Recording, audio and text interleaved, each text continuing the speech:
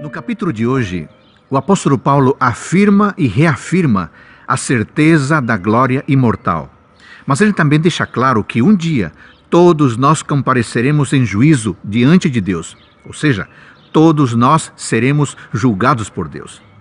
Ele também afirma que trabalha para Deus com zelo e com total compromisso e que ele não tem a mínima intenção de se vangloriar com o trabalho que faz, embora o trabalho dele fosse muito efetivo, embora o trabalho dele fosse com muitos resultados.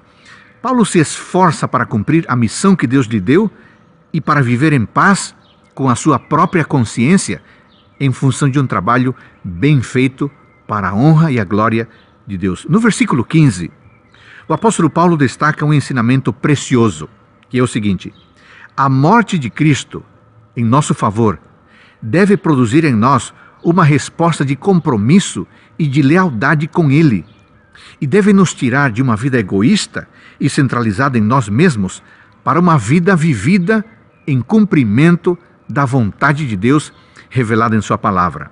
Sim, amigos, quem aceitou a Cristo em sua vida é uma nova criatura e deve abandonar, deve abandonar a velha vida de pecado e passar a viver à luz do Evangelho de Jesus Cristo. Isso é possível, sabe por quê? Porque Cristo nos reconciliou com o Pai, tornando possível que nós nos relacionemos diretamente com Deus.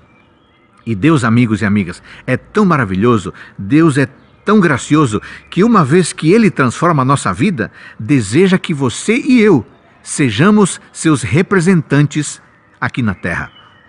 Amigos e amigas, nós não merecemos o amor de Deus, mas Ele é tão gracioso que nos ama, nos liberta dos nossos pecados, nos transforma a cada dia e nos torna os seus representantes diretos aqui na terra.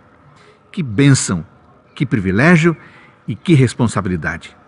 Bênçãos de Deus com o seu cuidado protetor hoje para você e para sua família.